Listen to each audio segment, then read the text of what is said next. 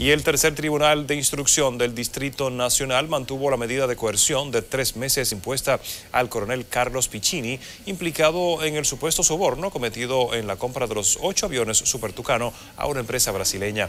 La decisión fue tomada por Danilo Amador Quevedo, juez del Tribunal eh, de Instrucción del Distrito, al conocer la revisión obligatoria impuesta a Piccini.